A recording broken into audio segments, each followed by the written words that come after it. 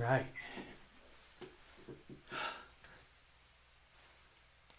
Is this even on?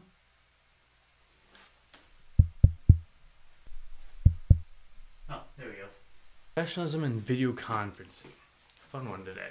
All right, and three, two, one. Hello, everyone. Thank you for coming out today to our virtual event. My name is Evan Furness. I'm a network engineer here at Twin State Technical Services, and I'll be leading you through how to give your video conferencing sessions a little bit more of a professional look. For eight years, I have worked on various productions and live streams, whether they be online, kind of like this, or uh, in person productions with a studio and a team. These days, when I'm not here working as a network engineer at Twin State Technical Services, I'm a videographer, photographer, and an editor for various YouTubers with views on my videos getting around or over 12 million views on YouTube. With my work in content creation, I work with my YouTubers on how to deliver quality videos and quality stories to their audiences on YouTube. Today I'm going to be working with you all, just like I do my content creators, teaching you various techniques and methods to bring a cleaner look to your video conferencing setups. I am going to be taking questions after the presentation and answering all your questions. So you can type those in the chat at any time and I'll be documenting those as we go. If at any point through the presentation you feel like you learned a little bit of something new, feel free to head over to our Google page. The link is down below in the description and leave a review about, about what exactly you did learn and how it's helping you and your business and your video conferencing setups. While you're down there in the description, there is also the link to sign up for the Twin State Technical Services newsletter. Feel free to send that to any and all of your friends as we host these virtual free events quite often, and anyone can sign up for them and uh, hey, you might learn something new. All right, and before we get into equipment or lighting or anything too technical, I think it's important to understand what makes a good shot look good. So first, let's talk about where you should be at in the video in the frame itself. But before we even get into that, it is important to think about before you even turn on the camera, what might be in the frame of the camera. A super common mistake and an easy one to fix at that is if your desk is in the shot, be sure to clean up your desk a little bit because what you don't want is people not focusing on you, but focusing on your desk that is dirty in the background or any other objects in the background that could interfere with your shot. Really, really think through everything that is in the frame of your video. This also means things that are purposefully put in the frame. For example, here I spent a few hours really trying out different camera locations in my office here to figure out where exactly would look best for this presentation. I slightly rearranged my shelves to give some slightly more interesting objects on this side of the frame and my whiteboard where I keep track of a lot of everything that I do, I wanted that in the frame just because it's an interesting piece in the background. But besides that, we don't really have anything else too interesting or too distracting in the frame itself. Next, we want to find a spot in your house or in your office where there's some significant depth in the shot. Now, my office is fairly small here at my house, so I take advantage of the diagonal of the room. This gives me the most amount of depth possible in the space that I have to work in. If you have a longer room available to you, set yourself up where the full length of the room is shown behind you. Now, if you are in an office environment, this can include people uh, working in the background frame of your shot. Just be aware that they are in your shot. Mainly, we don't want your person to be flat up against the wall. While this may keep your shot clean and you don't have to worry about extra things in the frame itself, it does not allow for a good depth of field and it makes your lighting just a little bit more difficult and unpleasant to look at. Now that you're placed in your room and everything in the frame is exactly where you want it to be, where should you be at in the shot? For this, we will refer to the rule of thirds. Most of the time for a standard video conferencing setup, where it is just you in the shot, we want to make sure that you're centered in the frame. From there, we want your eyes to be located on that top third line and your head to be centered between the right and the left third. Pause. Notice here that I'm currently not centered in the frame and my eyes are not on that top third line. Notice how much headroom that leaves at the top of the frame. I noticed this while recording and adjusted accordingly. Putting your eyes on that top third line just leaves a little bit of room above your head and that's exactly what we want. Too much room above your head and the shot feels empty. Cutting the top of your head off makes the shot feel too full. Great. Now the basics of the composition of your shot are complete. And now we get into something a little bit more technical, but very, very important, and that is your lighting. For lighting, we're going to go over a simple three light setup that is going to get your lighting in a pretty good place. A good start is let's get uh, two desk lamps and two light bulbs that are around 5500 Kelvin. This Kelvin number refers to the amount of warmth or coolness in the image, and that's how either orange or red it looks versus how blue or green it looks. Around 5500 Kelvin, this is what we generally refer to as a daylight light, which provides a pretty clean light over your face. If you'd like, you could substitute one desk lamp out for a window. For example, I am using just my window here to my right to light up the right side of my face. It is super important here that we don't just rely on any overhead lighting that you may have in your office. This creates really unpleasant shadows from your brows that go down underneath your eyes to your nose, to your mouth, and your chin, all the lighting and all the shadows are vertical down your face. Now, for either your two desk lamps or your window and a desk lamp,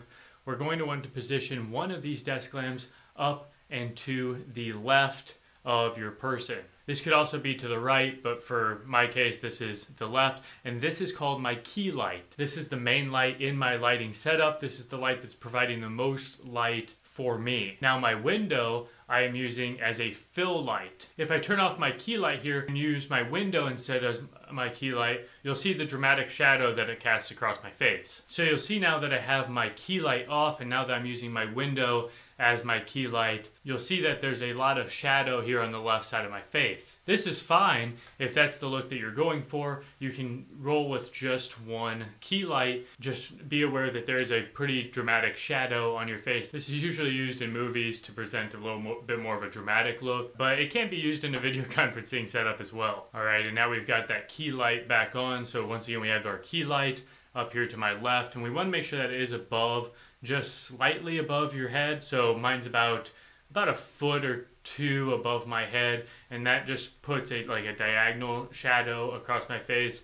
But then my fill light makes sure that it's not too dramatic across my face as well. Now, and you heard me mention earlier about a three light setup, but we've only went over two lights, and I already look pretty good if I do say so myself. But there is a very important third light that's actually currently present in this scene, and that light is right up here, out of frame, and all it's doing is shining on my back. When you shine a light onto the back of your person, it provides a nice little light across your shoulders and the back of your head, and this is what we call a hairline light. Now, the window is actually positioned in a way that's kind of a fill light and a little bit of a hairline light for me, uh, but what this light does and the, the purpose of this light is to provide separation between your person and the background behind you. Once again, technically you could probably just roll with just a key light of a window or a key light of a desk lamp and be just fine. But this simple three light setup adds a lot of value into the production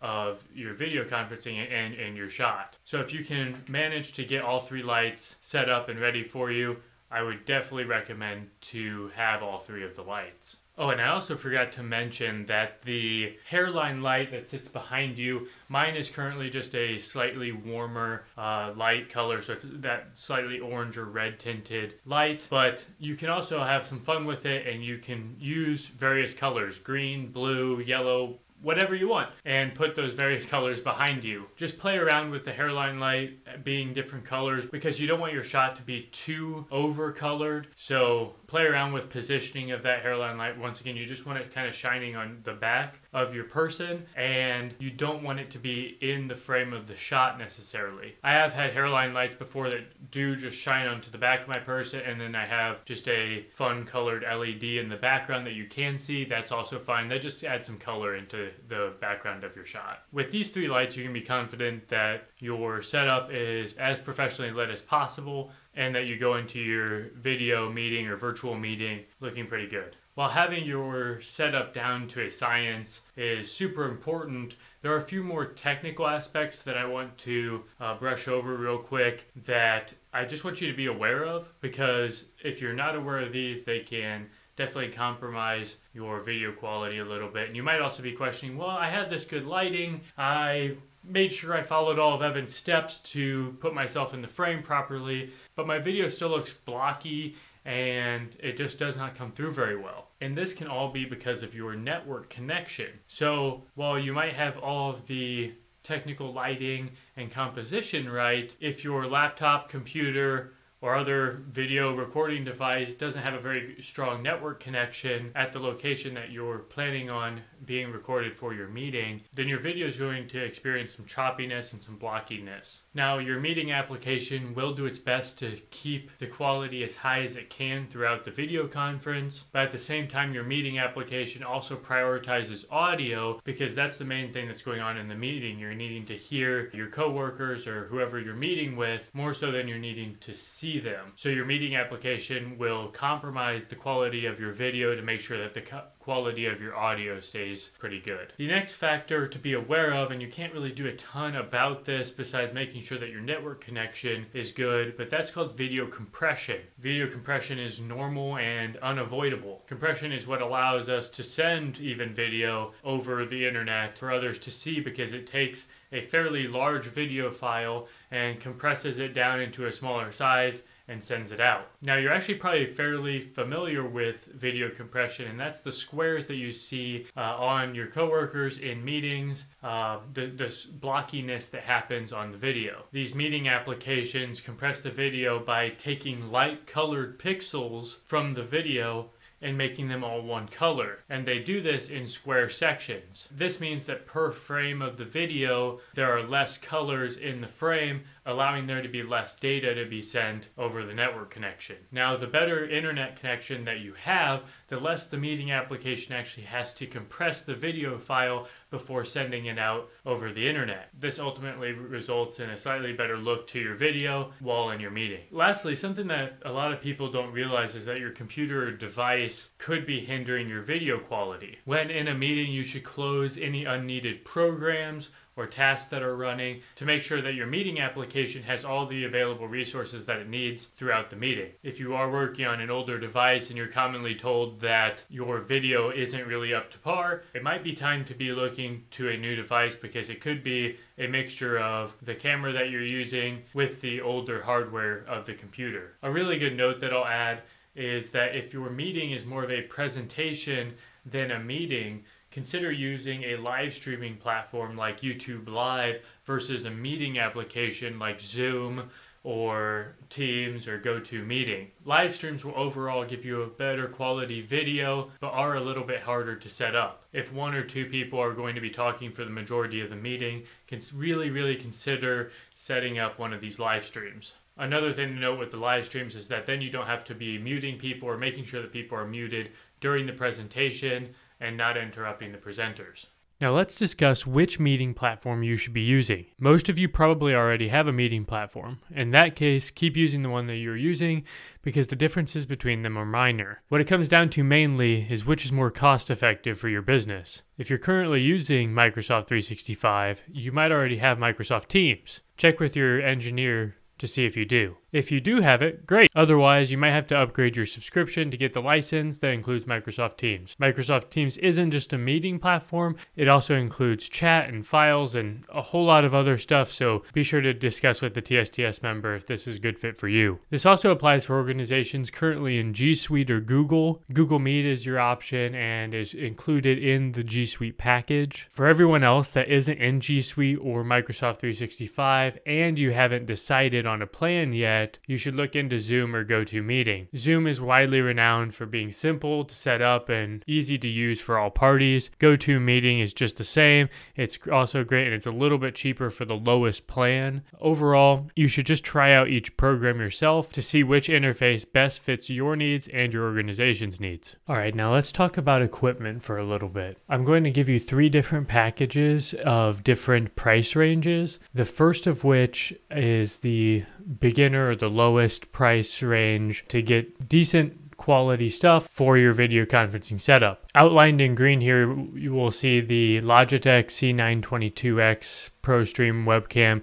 This can be any webcam, but let's make sure that it's an external webcam. We don't want to use the one inside the laptop because the camera itself just isn't very good. You don't have a lot of control over the colors or anything like that. Also included in this kit is the lighting umbrella kit. This will include two of those 5500 Kelvin daylights along with two umbrellas and two stands to give you your key light and your fill light. And last but certainly not least is a beginner microphone, the Blue Snowball. This is a very good brand of microphone uh, and it's just $50 and you just plug it into your laptop via a USB port and it works. All right, and next we have our intermediate price range option. And not much changes from the beginner option, but our quality does go up quite a bit. So, one of the main features of this is the Blue Yeti microphone. We're changing from the Snowball to the Yeti. It's just a little bit better of a USB microphone. This is used quite commonly among podcasters and streamers.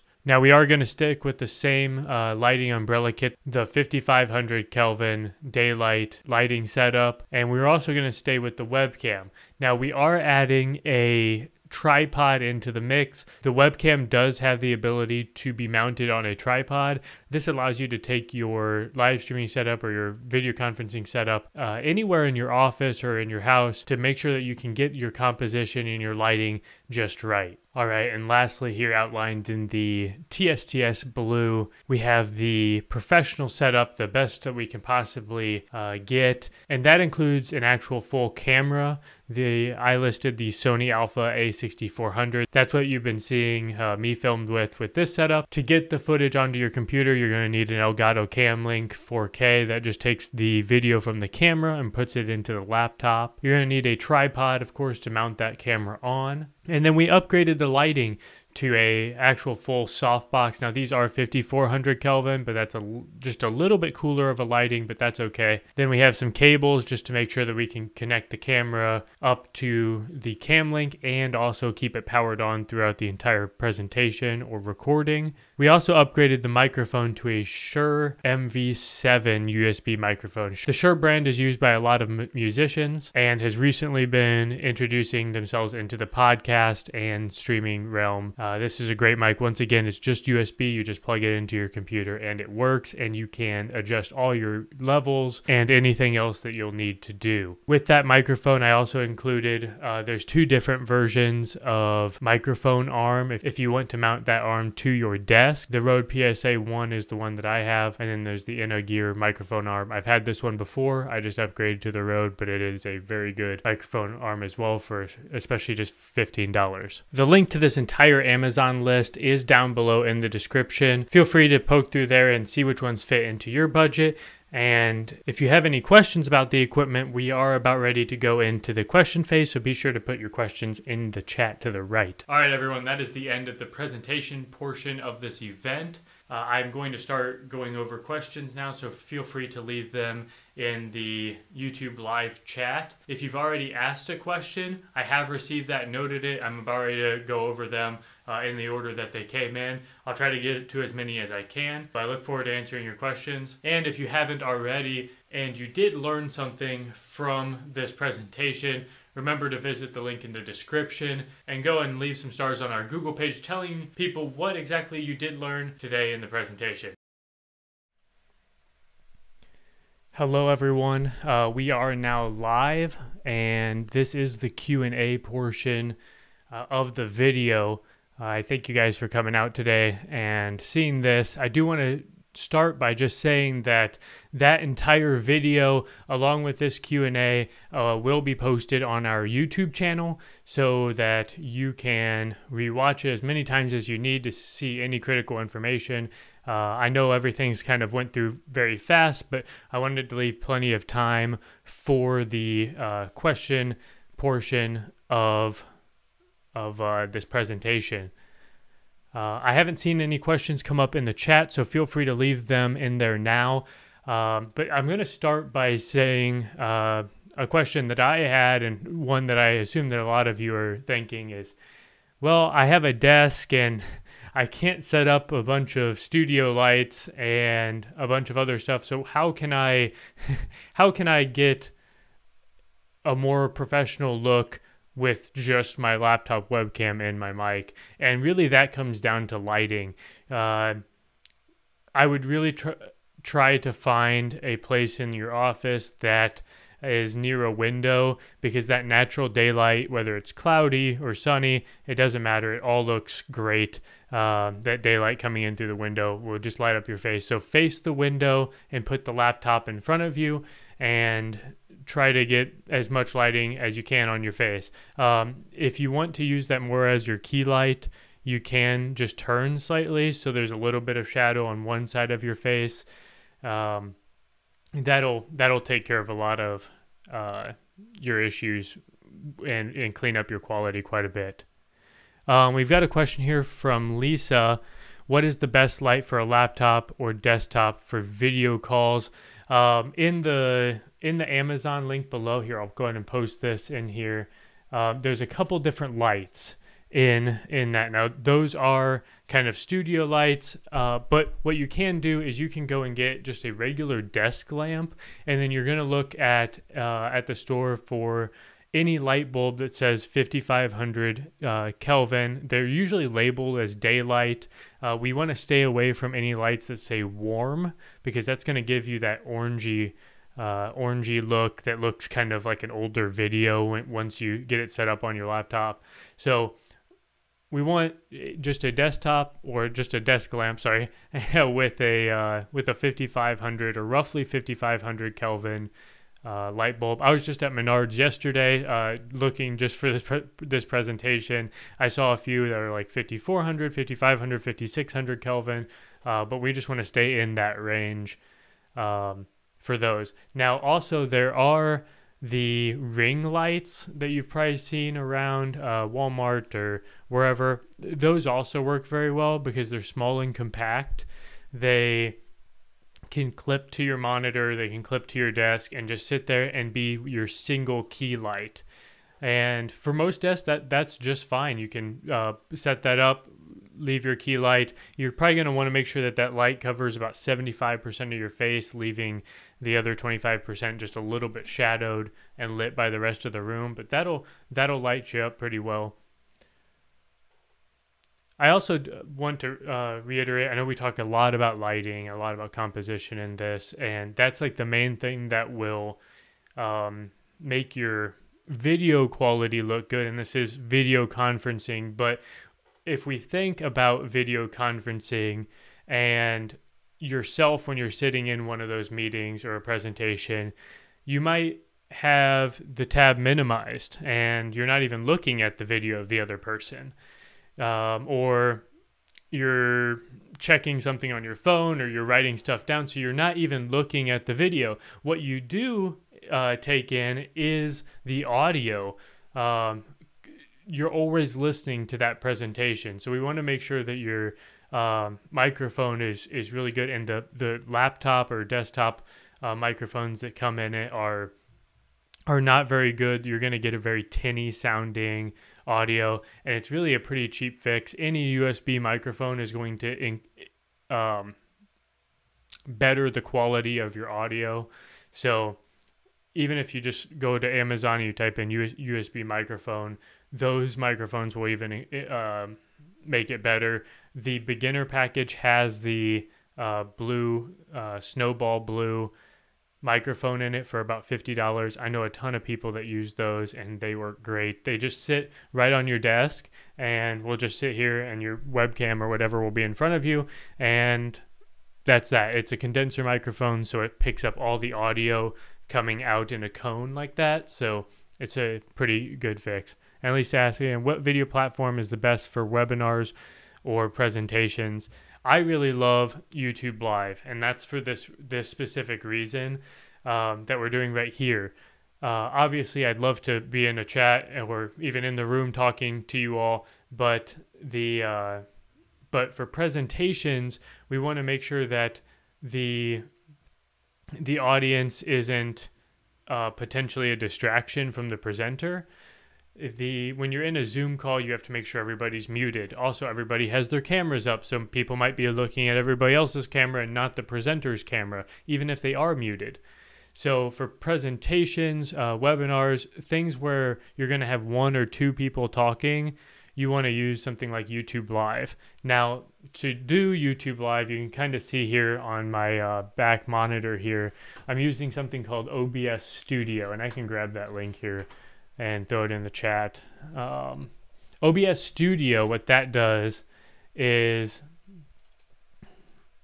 you can set up scenes and um, and pre-play videos or you, you, can do a lot with it so it monitors your audio levels and everything and then your youtube live gives you a stream key and you put that into obs studio and boom they are linked and you just hit start streaming and you're live and that's kind of how this worked so uh, for example the uh, the initial screen here was just this one. Uh, it's kind of hard to see there, but on the left hand side of me, uh, this one here.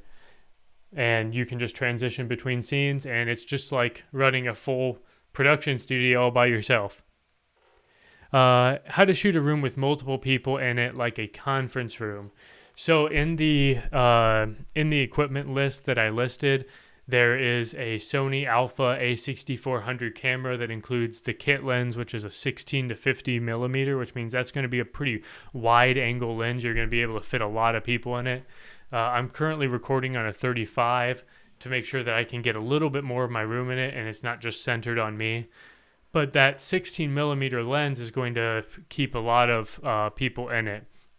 Now, the issue or the, the biggest uh, but the hardest thing that comes with how do you mic everyone and get everyone um, everyone's audio in. Now, if they're on a Zoom present or if they're if we're doing a YouTube live and it's all online, we would uh, get the presenters all in a Zoom call or a any of your meeting uh, platform choices just to where you can hear everyone. And from there, you can actually pull the audio from the Zoom meeting or the online meeting and put it into OBS, and then it comes out the YouTube Live presentation for everyone else to watch. How to look good if you have a shiny or thinning hairline. Oh man. Um, I would say that the darker the image, probably the better. The uh, obviously if you have more light you're going to have more shine. You're going to have more emphasis on the uh, on the hairline. So the i would recommend only having that one key light that lights the one side of your face. That would uh, that would help with that a little bit. Um, besides that just own it. Uh, i think that's the best way to go about it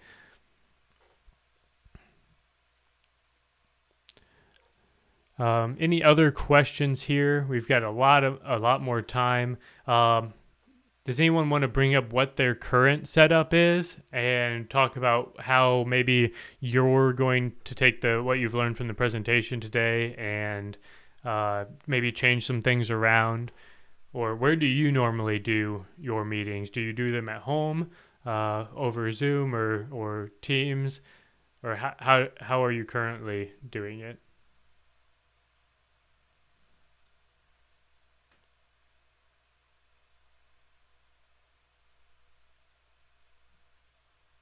Thank you, Lisa. I really do appreciate that.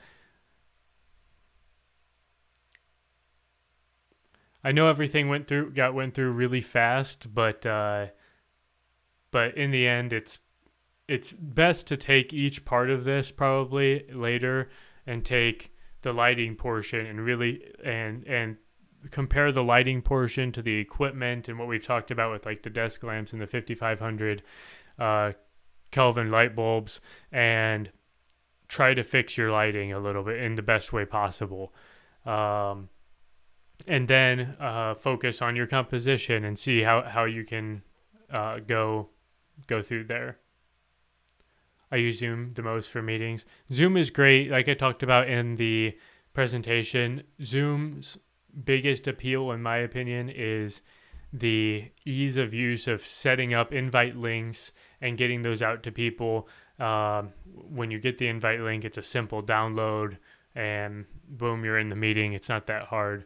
Uh, Teams has a couple more hoops to jump through if they're not already in Microsoft 365, but the back end of Teams with having uh, chat and team Teams activities and scheduling and all that for your internal uses is really useful as well. What color clothing would you recommend for a better and more professional look? Um, one second, I'll answer that in just a second. And Lisa said, "Do you always make events on LinkedIn?" Um, Micah, Micah would be a better person to answer that, and um, he can answer that in the text chat with the Twin State Technical Services um, account. But what color clothing? Uh, the main thing is, is you don't want to blend in too much when I went through a couple different jackets for the initial recording. Now that I think about it, I probably shouldn't be wearing gray with this gray background just because I kind of blend in a little bit more.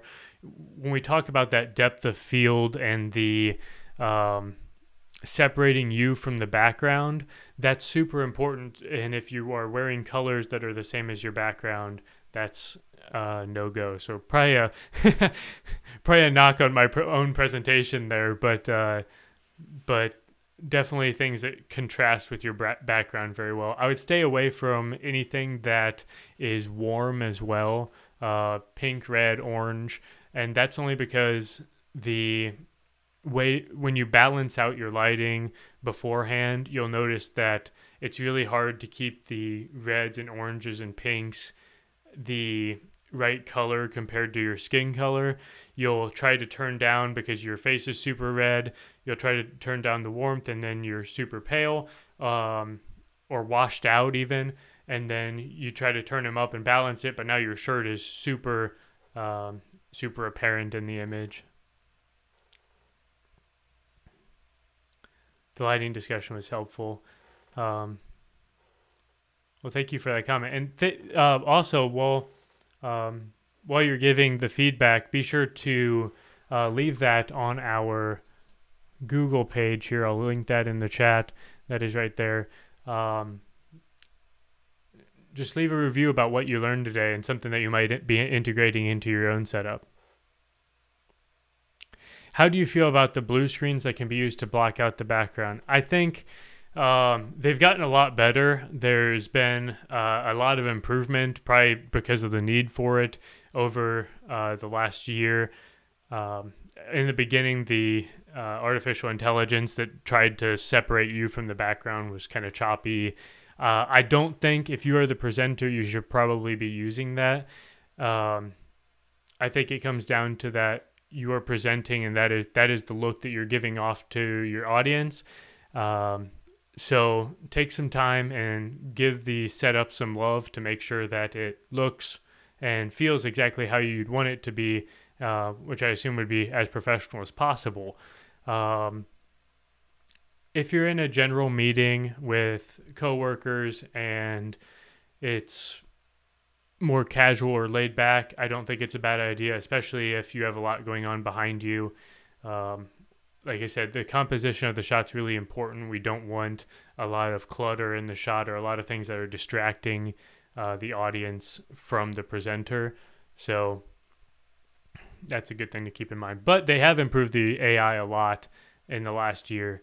Um, some are better than others. I think, if I remember right, I was reading that Zooms is the uh, is the leader in like background AI AI technology in terms of how it separates you from the background. Are there any microphones to drown out the noise of other people in a busy office? Okay, this is a this is a very um, hard question in in terms of like answering um, easily. So this right here is a Shure uh, SMB7 microphone. Uh, fun fact: that's actually the microphone that uh, Michael Jackson used to record Thriller. Uh, but so this microphone's been around for a while, but this is a dynamic microphone, which means that it is only picking up audio within this range right here. Uh, for the most part, obviously, if there's a loud noise uh, somewhere else, that will affect it, but it's really only sensitive to the things that are really close to it. That's why it's so close to my face right now. Now, the other type of microphone that you're going to see, and this is going to be a lot of the USB microphones, is the condenser microphone. The condenser more shoots out and takes audio from a given area. It's going to be a lot more sensitive. You're going to have to play with it a lot more. Um, there is technology in that's a little bit complicated to set up, but you can take a condenser microphone or your web uh, webcam, like laptop microphone, and run that microphone through a software that uh, uses artificial intelligence to take out the background noise and then sends it to your like Teams or meeting application. Um, it's in real time, so it doesn't like it doesn't delay the audio or anything. You don't have to worry about that. Um, but I have used those before, and those are really good. The one that comes to mind is the NVIDIA. Um, I think it's called NVIDIA Broadcaster, but your your Teams, Zoom, I believe they all have noise gates as well. So what a noise gate is, to explain that real quick, is there's always going to be an ambient level of noise that is going on in the room, which is like when I'm not talking. So whatever you hear there, you can set the noise gate above that and it will only pick up audio that breaks that noise gate. So there's if we're talking in audio waves if it's small you can set it just slightly above that and then when you talk it peaks above that line and it picks up that audio so use your noise gates really play with your audio settings and i know they're adding more and more to all these different online meeting platforms as they become more prevalent Lisa, we also cross post and publish our events on Facebook and local chambers of commerce calendars. Yes. Yes. What he said. Um, once again, just to reiterate, the this whole presentation will be posted on our YouTube page so that you can go back and look at those things. Um, I'll I'll try to find some of those uh, AI filters that you can use for your microphone and put throw them in the link uh, or in the description for you to click on and, and investigate those. How can you incorporate your branding as video in the background? So there's actually a really cool feature with OBS Studio to where I can use OBS Studio to send my video and audio to directly to Teams. Uh, I know it works for Teams. I haven't tried it with Zoom or GoToMeeting or the Google Meet, um, just because that's Teams is what uh, we use here at Twin State. But the best way for that is then you can drop um, images onto the picture. And let me see here if I can just give you a, a quick little example.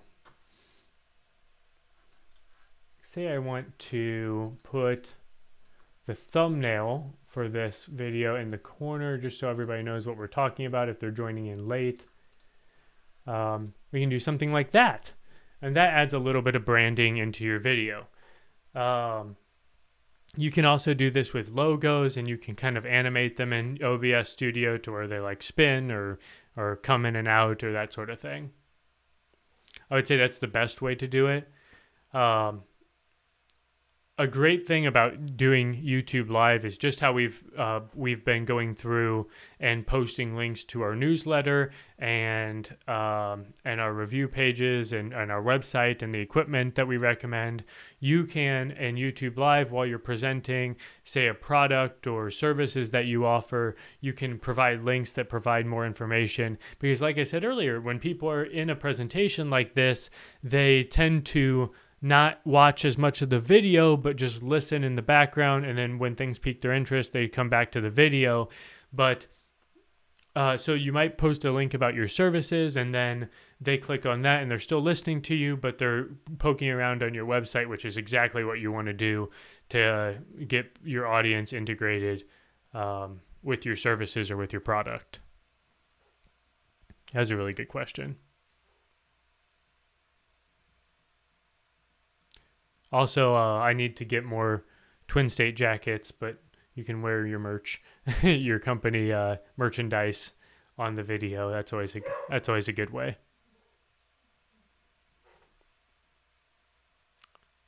we've still got about 20 minutes if anyone else has any questions. Um, this has been this has been a lot of fun. I appreciate everyone coming out and uh, hopefully learning something new throughout this process. I know there's a lot to it.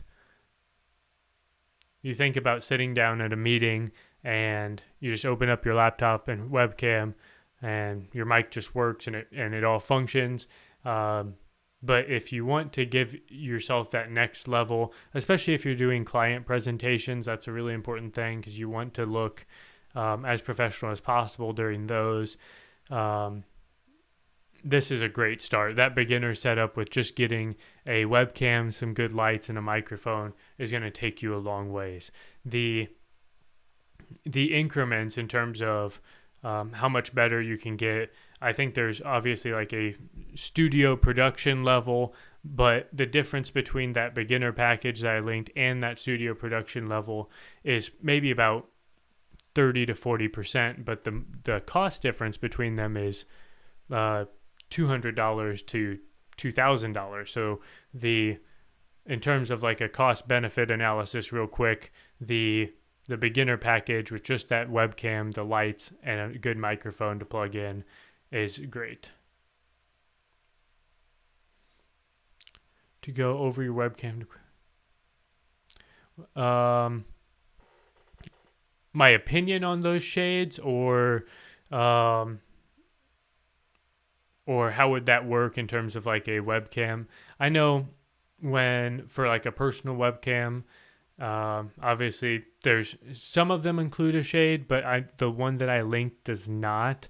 Um, depending on how you're doing it, you can always instead of using the shade in a meeting to uh, to switch off your webcam, you can always just hit the webcam option like so, and just turn off the camera itself and just leave your audio on. Now, um, and you can do all that digitally. So instead of using a physical shade, you can always use the um, use the digital option. Now, afterwards, if you're still concerned about privacy with your webcam, you can unplug it. You can cover it up with um, I've seen tape, post-its, uh, you name it. It's probably covering up a webcam.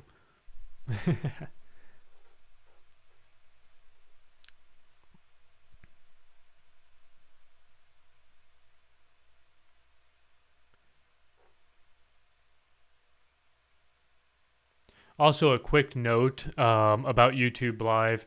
Um, you do want to be careful on your company pages to avoid any sort of copyright uh, infringement with music. Uh, the beginning music that I played in this stream is uh, from YouTube's audio library. If you go to studio.youtube.com, I can link that in here. Um, if I can type studio.youtube.com for your company's YouTube channel. You will see on the left hand side a thing called audio library, and those are all copyright approved music that you can use for your live streams on YouTube. Uh, YouTube provides those for you so you don't get copyright strikes on your channel, and the um, and the music's pretty good. You kind of have to look for a little bit, but the library is huge. I think there's like 30,000 songs or something in there. So poke around, find something that fits the um, the feeling of the video that you're trying to present on YouTube, and go from there with that.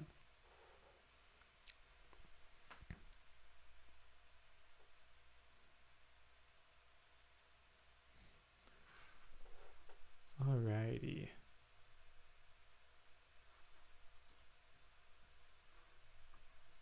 I did not mean to click out of that, but I think we're good.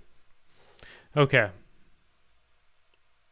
We've got about 15 minutes left. Does anyone else have any other questions?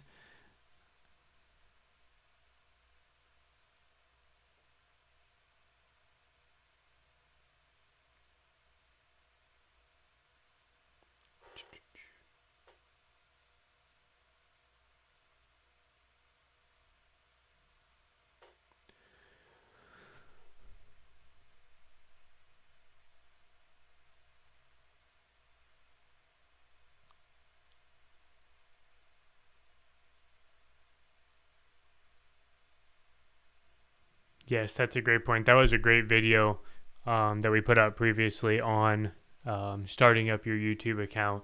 Um, since Google's taken over YouTube and oh man, there's there's uh, late 2000s when they when they did that. The process of separating your Google account from your YouTube channel has become quite difficult, but Justin takes you through that, and it's really a great video on how to separate those two and re- and create a really professional looking uh, YouTube channel, so that when people come to your channel and are looking at your videos, um, they have a good a good feeling about it. Now, the uh, I do want to just bring up how how useful having a good video library is on YouTube. That's a great way for customers to figure out a lot about your products and services. So, just keeping up on content, whether that be weekly or monthly, um, some sort of video on something that you're offering that month is a great way um, to keep engaged. And sometimes, just like this meeting, I'm sure that there's a lot of people that would have really liked to see this meeting uh, or this presentation, but just couldn't. Well, this is going to be live on our or uploaded to our YouTube channel after this, and people can watch it at any point in time, and and that's super valuable for for everyone involved. So keep that in mind. That um, starting up your YouTube channel is a great great thing to do, and if you need any help with that. Um, feel free to contact us and we can we can make sure that your YouTube gets set up very professionally.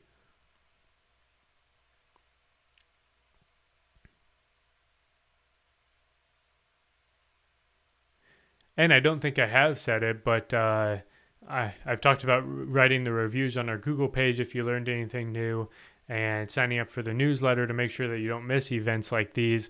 But also hitting the subscribe button down below will give um, will give you notifications when we do have a new video out. Uh, or it'll pop up in your recommended videos on YouTube for your company page. Uh, it's free to subscribe. There's not really a reason not to if you have enjoyed the presentation, so feel free. Uh, feel free to do that. But I do thank you for coming out today. I think we're going to go ahead and wrap it up there unless anyone has any other questions. Um, just thinking in terms of our chaotic lives of working from home, how do we quickly cover our sometimes real lives that jump into a conference call? Um, like I like I mentioned earlier, the digital way to mute and uh, cover your video is the quickest way. Um, you don't want to be fumbling around and unplugging cameras and mics and whatnot. Uh, the all these meeting platforms put the camera and the microphone button right next to each other and you can turn them on and off super easily easily.